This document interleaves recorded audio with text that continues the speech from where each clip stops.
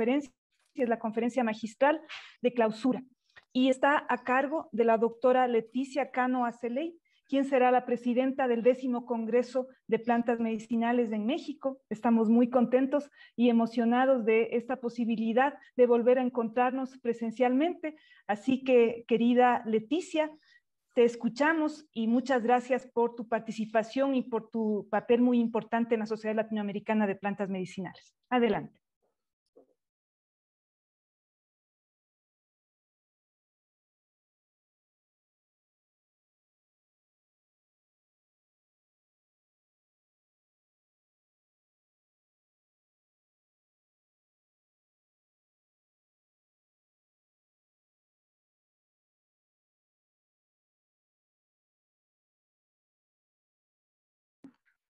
¿Me escuchan? Ahora sí, sí, sí se lo escucha. Ah, es que, ajá, es que me apareció una nota. Bueno, eh, pues solamente decirles que es un gusto para mí poder eh, participar en este noveno Congreso Latinoamericano de Plantas Medicinales. Eh, y el tema que les voy a dar lo he titulado Maestros en el uso de las plantas medicinales, los TENEC de Veracruz, México. Es eh, importante que les comente que como investigadora en el Centro de Investigaciones Tropicales, eh, tengo, eh, manejamos, estoy a cargo de un proyecto sobre la flora medicinal de Veracruz y una de las líneas es documentar las floras medicinales indígenas de nuestro estado principalmente. La que sigue, por favor. Mm. Como todos sabemos, y ya entrando en materia por los tiempos también, eh, la diversidad biológica y cultural de México es eh, tan importante que ha logrado y tan eh, variada, tan rica, que ha logrado, se ha logrado el desarrollo de un vasto conocimiento sobre el uso y manejo de las plantas medicinales.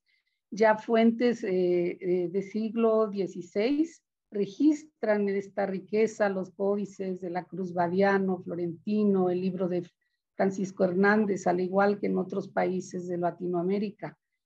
Así que eh, Veracruz, como parte de México, de uno de los estados, uno de los 32 estados, eh, está eh, asentados en nuestro territorio 12 etnias y de las alrededor de 61 etnias que tenemos este, en México, con eh, un número de 8.000 especies vegetales, 921 de las cuales son medicinales.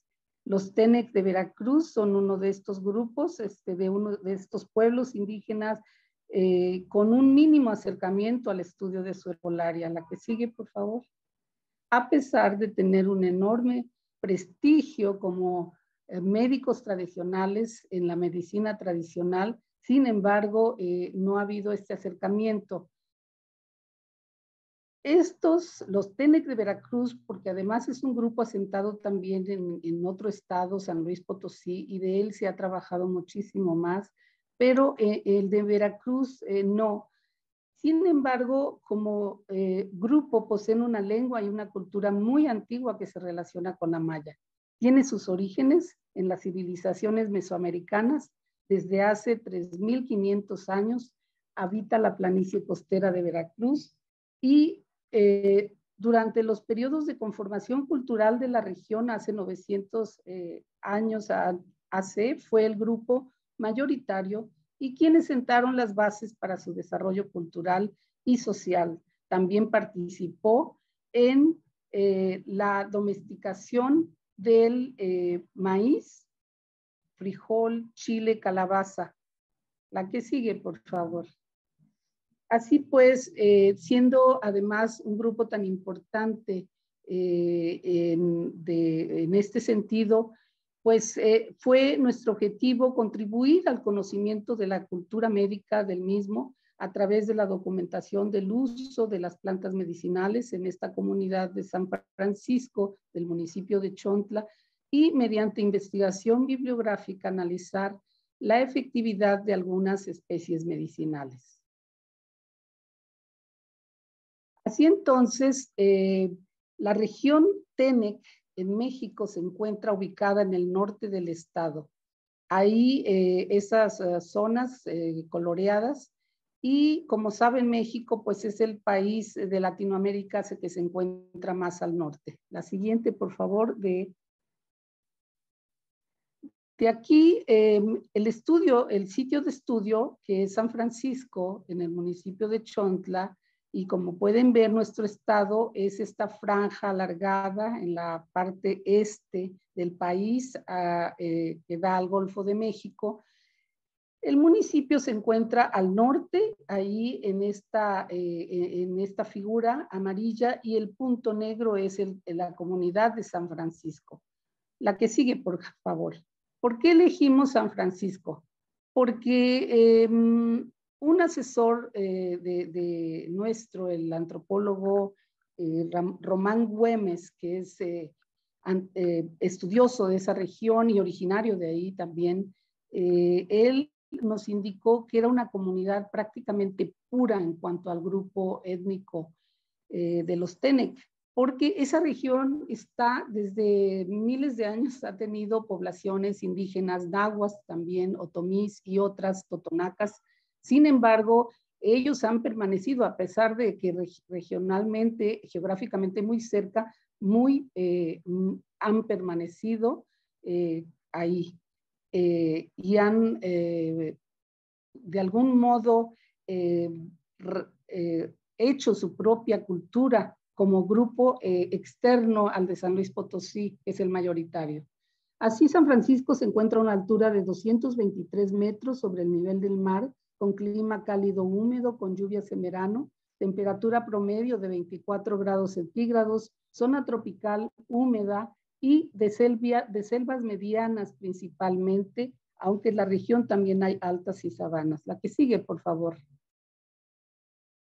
Así ustedes pueden ver aquí a la entrada del pueblo, de la comunidad, un anuncio que da la bienvenida a las personas que lo visitamos en lengua y en español. Y a lo lejos se ve la sierra de Otontepec, tan bella en esa zona y poco realmente conservada. La que sigue, por favor. Eh, como todos nuestros pueblos latinoamericanos eh, tienen eh, sus fiestas que los caracterizan precisamente como una cultura muy antigua, específica. Así que el carnaval es una de estas festividades de las más importantes donde se presentan estos personajes llamados mecos, que son pobladores de, la, de ahí mismo, que se pintan con tierra, con barro, con otra, eh, de diferentes colores y se adornan con plantas y a través eh, de la comunidad caminan y bailan en rituales para eliminar todas las impurezas del ambiente, para eliminar las enfermedades. Aquí, por ejemplo, en la foto del medio se observa un meco rameando a una persona enferma. Entonces es como un proceso comunitario de sanación, diría yo, del pueblo, ¿no? Muy interesante porque solo ocurre en esta zona, en esta localidad de San Francisco. Los días de muertos, como saben ustedes, eh, son otra de las festividades sumamente importantes en México. Chantolo es este, la fiesta y eh, en esa región, así le llaman, es el, nombre en, en Tenec, y eh, como todos eh, en México, eh, se va a los cementerios, se llevan las flores de cempasúchil que aquí vemos. La que sigue, por favor. Uno de los platillos y la comida es un aspecto fundamental, también parte de esta cultura que solo aquí se, se, se, hace y se realiza, es el zacahuil, que como ven es un tamal gigante donde, que se prepara con maíz martajado, eh, sazonado con eh, chiles rojos secos y con carne de cerdo principalmente. Se envuelve en las hojas de plátano que se semejan, por eso elegí estas diapositivas con este diseño a la hoja que se observa en la parte de arriba y se cocen en un horno de leña rústico. La que sigue, por favor. Seguramente ustedes cuando vengan a, Jalapa tendrán la oportunidad de probarlo.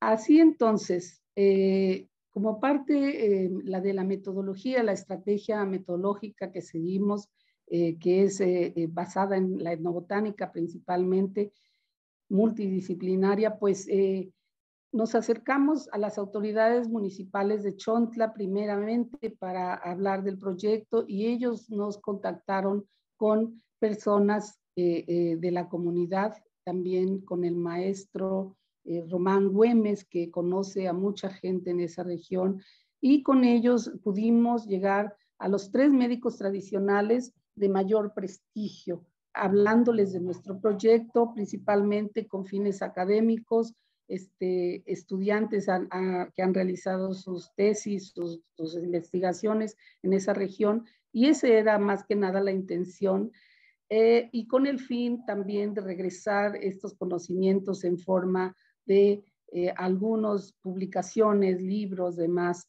Así entonces se manejó, como ustedes bien saben, a través de entrevistas abiertas, semiestructuradas, recorridos en la zona, colecta, fotografía de plantas, para la identificación botánica, preparación de especímenes de herbario y depósito en los herbarios JAL, de aquí del Instituto de Ecología en Jalapa, y del Seguro Social, del Instituto Mexicano del Seguro Social, herbario especializado en plantas medicinales de la Ciudad de México.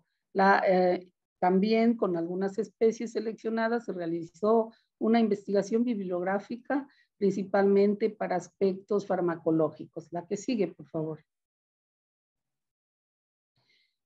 Así algunas eh, eh, pues, eh, vistas del trabajo realizado. Aquí pueden observar a esta estudiante que es Sonia Castro Guzmán, que realizó su tesis de maestría en este tema específico a través de pues caminatas, colectas, aquí con el médico tradicional en medio, el, el, señor, le decíamos cariñosamente, don Goyo, que es Gregorio García del Ángel, y aquí él con una paciente mediante observación participativa también podíamos documentar el trabajo. La que sigue, por favor.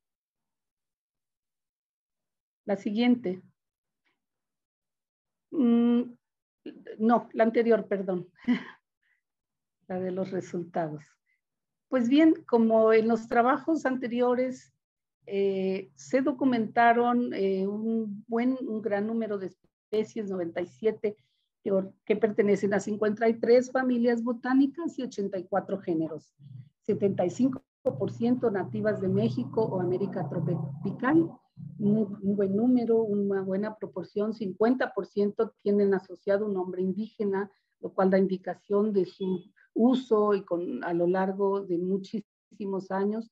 Y las hierbas fueron las más eh, abundantes, 50%, seguidas de arbustos, árboles y bejucos. La que sigue, por favor. Esto es muy común generalmente en este tipo de trabajos.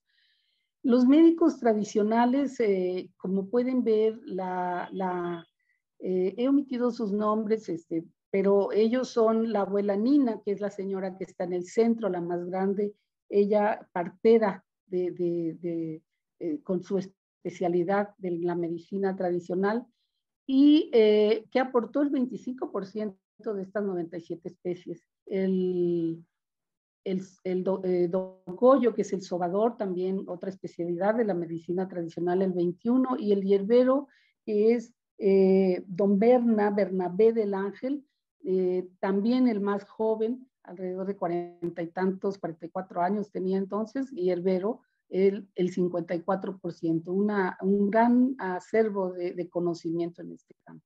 La que sigue, por favor. Así entonces, eh, aspectos que son comunes y se repiten de alguna manera en nuestros trabajos, al menos en México, son las hojas las que más se usan, luego las ramas, las raíces, eh, los flores, látex, las flores, cortezas, tallos y plantas completas en menor proporción, eh, estos últimos. Es la infusión con más del 50% de, de las indicaciones que daban, las formas de uso más común. Y también otro, otro muy utilizado en esta región son los baños, eh, lavados y enjuagues, pero los baños relajantes principalmente, las y el cataplasmas y lo que, denominan, lo que denominaron los médicos tradicionales como ramear, otear, sobar y masticar. Es otro proceso, eh, otra indicación de forma de uso un tanto externa, excepto el de masticar, aunque siempre decían que había que escupir el material masticado. La que sigue, por favor. Así, eh, en cuanto a este análisis eh, sencillo, pero que nos da buena información sobre las enfermedades que ocurren más eh, en esta zona, las em, plantas medicinales más, el mayor número de plantas utilizadas eran para enfermedades de la mujer. No solo abonaba a esta información la partera, sino también los otros médicos daban mm, información de eh, plantas que utilizaban en, estos casos, a veces en baños posparto y demás. Y en segundo lugar, especies utilizadas para varios dolores, lo cual eh, pues es común, ¿no? Eh, que haya necesidad, dolor de cabeza, dolor de estómago, siempre hay dolores, ¿no? Un golpe te da dolor de más. Entonces, ese era el otro, y, el, y también en el caso de afecciones de la piel, boca y ojos. El que seguía, por cierto, son enfermedades de filiación o síndromes, como les llamamos, de filiación cultural. Muy interesante porque eh, eh, un buen número de especies fueron eh, descritas para, esta, para este grupo de afecciones. La que sigue, por favor. Así entonces, por parte de nuestro médico yerbero, generalista, digámoslo, como el médico general de la medicina alopática, él fue el que más eh, tuvo un mayor eh, espectro en, cuanto a diversidad de plantas utilizadas y padecimientos. 53 especies reportadas por él con, contra 42 padecimientos. Y las afecciones que más atendía eran infecciones intestinales, urinarias, respiratorias y de la piel, así como para el dolor de cabeza y la fiebre. También reportaba eh, que mucha de, su, de, la demanda que tenía de la población era para atender síndromes de filiación cultural, como el mal aire y el spam. ¿A qué sigue, por favor? De parte de la abuela Nina, un personaje súper lindo, interesante, amable, afable, siempre con su cafecito ahí para eh, invitarnos.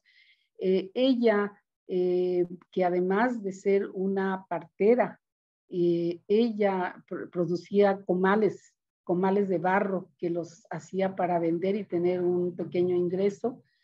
muy interesante, generalmente se dedican a actividades domésticas, pero cultiva sus plantas medicinales alrededor en su jardín, en su traspatio, cerca de las milpas, porque ya con su edad decía no podía andar recorriendo eh, eh, mucha distancia para encontrarlas. Así, ella nos pudo eh, darnos, aportar información para 24 especies y 7 padecimientos. Se restringe aquí el número de padecimientos que principalmente ella atiende, como la inflamación, dolor de vientre y relajación postparto.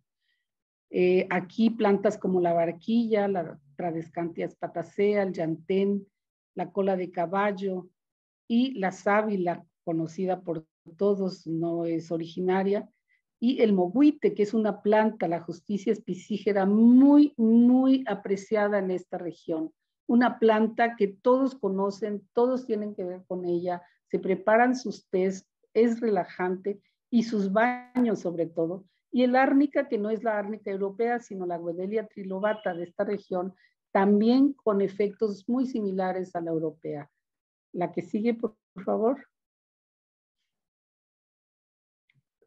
Don Goyo, que es el señor Gregorio García, nos, nos eh, dio información para 21 especies, 31 padecimientos y las afecciones atendidas principalmente torceduras tenían que ver con su especialidad de sobador, contracturas y dolores musculares y otros.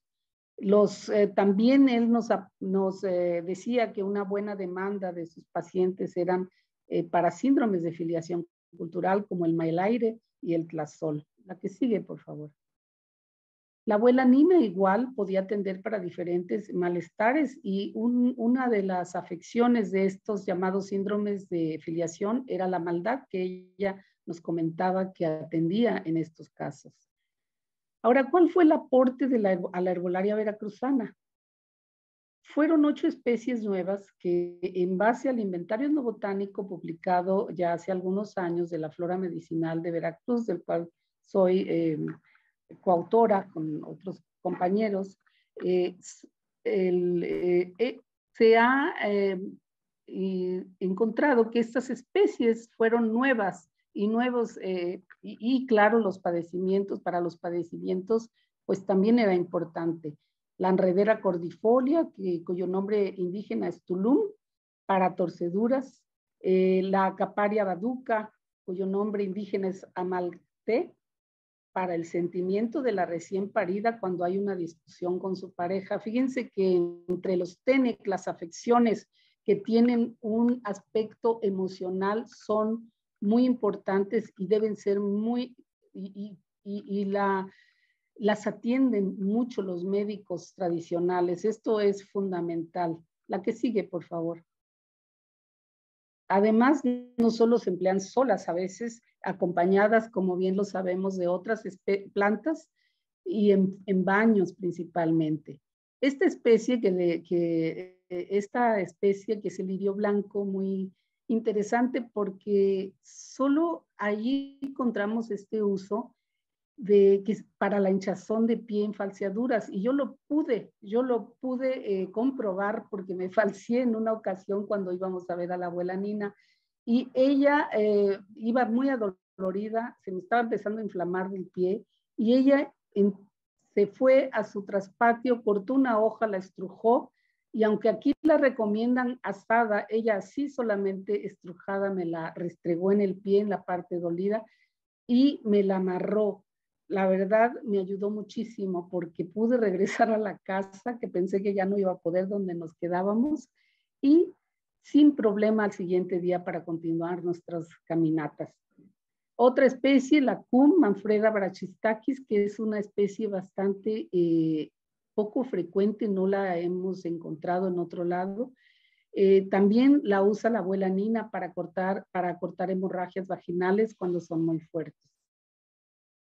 También eh, en el caso de la manzoa himenoa, que es esta planta que no pudimos eh, em, encontrar con flor, el ajo de monte, cuyo olor es exactamente igual al del ajo, que conocemos seguramente tiene esos compuestos azufrados del ajo eh, volátiles. La que sigue, por favor. La Micania escandes, llamada bigote del Señor, que la usan mucho también los mecos para adornarse en su fiesta de la que les hablaba en carnaval se usa para sobar. La senia atomaria, que esta le llaman chipal tot, muy interesante porque hasta ahorita que de todos los registros que tenemos de la flora de Veracruz, solamente este la eh, eh, indican para las paperas. Y fue don Goyo, este señor, don Gregorio, quien nos lo dijo, muy interesante eh, en esta región.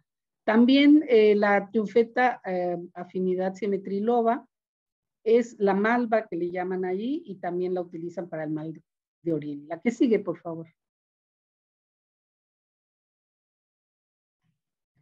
Voy a hablarles de, estos síndromes de filiación cultural porque tienen que ver mucho con la visión y la mm, que tiene este pueblo. Eh, fueron cuatro los reportados por ellos. Uno es el espanto susto, que también se observa en otras regiones de México y seguramente de, nuestros países, que es como ellos lo describen cuando una persona tiene un sobresalto fuerte e inesperado y se lleva una gran impresión. Pierde el apetito, se ve desganado y cuando duerme brinca involuntariamente. La que sigue, por favor. Eh, Aquí indican para atender esta afección la ribina humilis que le llaman chilacuaco o ta ixicam en esta región. Se prepara en té y es tomada, así como baños con plantas relajantes. Como ven aquí tenemos el mohuite, de nuevo, la hierba del zorrillo o pasan la petiveria alacia, aliacia, aliace, perdón. La que sigue, por favor. Mal aire es otra de estas eh, síndromes de filiación cultural que se adquiere cuando individuos atrapan ciertas emanaciones negativas presentes en lugares como cementerios, cuevas, cerros, etc. Aquí realizan limpias que consisten en ramear a las personas con la hierba del tlazol, eh, dusup, eh, que es el eh, osimun, es un osimun, y cramptum, el de la zona, eh, de acuerdo al hierbero pero también indican una especie que no pudimos identificar, una iptis, que le llaman Tipsanquet, según el sobador. La que sigue, por favor. La maldad es otra de los síndromes cuando un individuo está intranquilo y no se puede dormir. Se dice también que las personas se secan. Para esto recomiendan los baños con hierbas relajantes, igual el mohuite de nuevo, la hierba del zorrillo, también la petiveria, el ajo de monte, esa que vimos antes, la manzoa y menoa, y corteza del palo de brujo. Muy interesante, atrás de la casa de la abuela Nina había uno de estos árboles, y si los ven, si lo ven, realmente es el que está a la derecha, parece eh, una sombra de un brujo con sus uñas crecidas, parece con una cola, o sea, eh, sí da la impresión de una persona así. La que sigue, por favor, de un personaje de este tipo. El clasol, que es una otra de las este, afecciones eh, de esta región, ocurre cuando los niños lloran mucho, dicen. Tiene diarrea verde, mala digestión y la leche se coagula en su estómago. Esto causado por captar discusiones, sufrimiento y muerte. Así es como lo definen realmente. Recomiendan para esto rameal con albahaca, la Simon basilicum, que conocemos, común, eh, europea, la hierba del tlasol, el Osimomicrantum. Eh, también se indica el té de estafiate, Quinim witch, la Artemisia ludoviciana de aquí de esta región, haciendo la recomendación de no tomar muchos días porque es tóxico. Entonces es importante cómo la gente ya ha podido experimentar los médicos saben perfectamente lo que se tiene que hacer. Eh, por eso no es bueno tampoco tomar cualquier planta que le recomienda cualquier persona. Siempre es importante ir con el médico tradicional, la persona de prestigio que conocemos. La que sigue, por favor.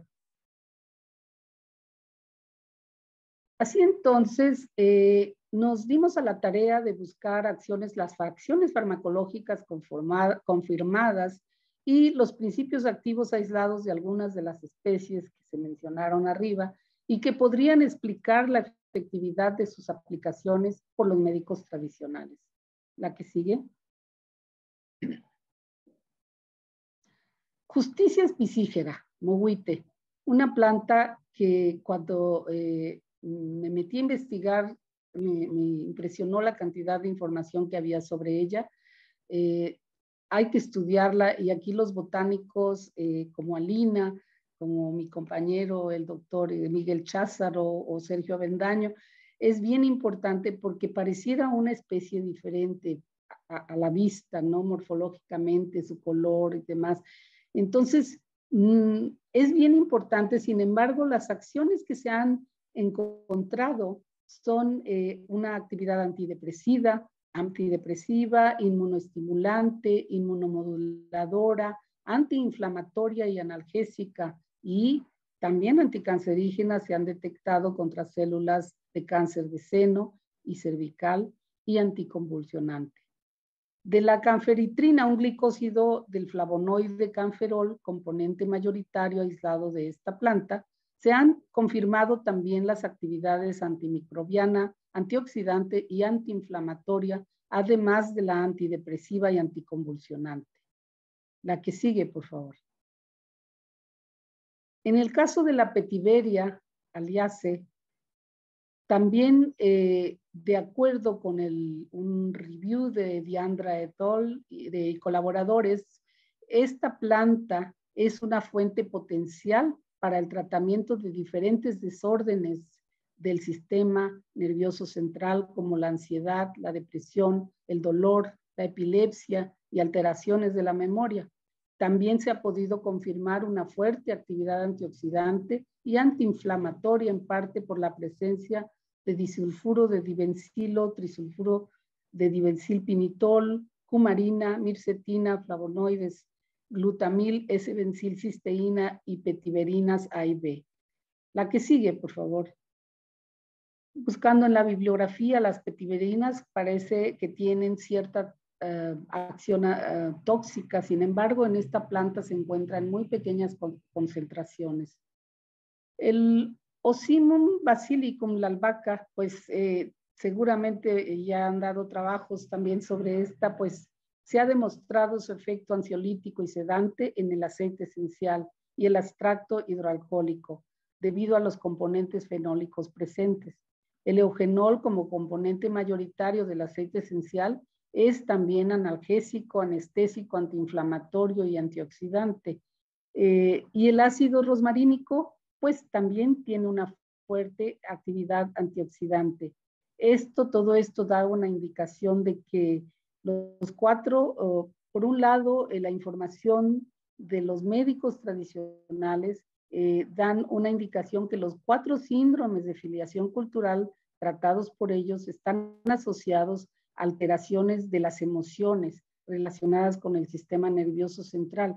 Y de algún modo estos efectos farmacológicos confirmados, pues eh, si no eh, totalmente confirman la efectividad de la planta, si le dan una explicación y eh, congruente con el efecto producido. La que sigue, por favor.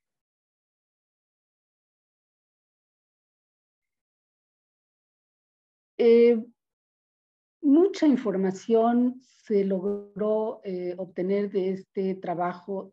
aquí no les presento toda.